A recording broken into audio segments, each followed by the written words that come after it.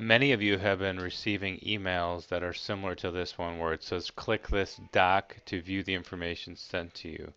This is a phishing scheme and it's looking to obtain sensitive information such as your username, your password, your credit card, um, often masquerading as an actual legit document. Well, before you ever click on this link, and if you were wondering if it's legit, if you hover over the .doc link, if you highlight that and look down in the bottom left-hand corner of your browser, you're going to see it says www.fuhrwershaw.at.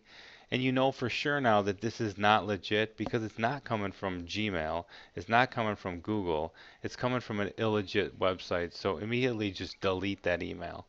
If you do click on the actual link, you're going to see again here at the top that URL is not legit. This is not a legit website. So you have to look at it and really understand it's not from Google, it's not from Gmail, it's just from some bogus website. And don't put your information in there.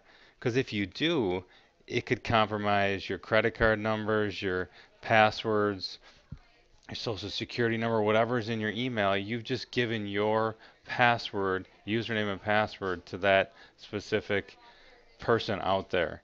So don't do that. And if you do do that, lots of times you punch that in there, it then takes you all your contacts and sends that same email out to all of your contacts, keeping that cycle going. So if you ever get an email like that, please delete it. Or if you have questions about its legitimacy, please contact our tech services department.